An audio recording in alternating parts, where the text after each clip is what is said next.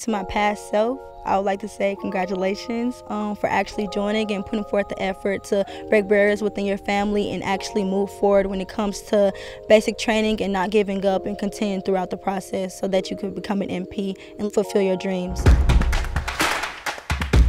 and to all of the new trainees and future recruits, I would like to say that it is not the destination, but yet the journey of how you get to the destination. So you might think that you have a long way to go, but as long as you go through the process and you do everything that you set forth to go through, it will be completed and you will feel the success and the admiration afterwards.